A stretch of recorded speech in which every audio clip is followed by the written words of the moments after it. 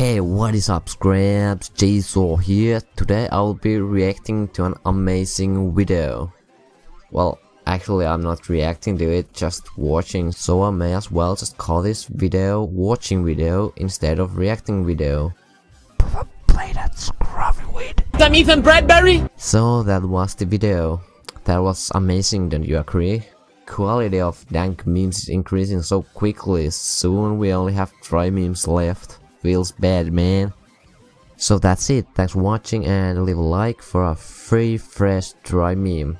This is not a joke, it's all real. Just like the video and you'll be receiving a fresh, dry meme. This was Ethan Bradbury. and have a nice day.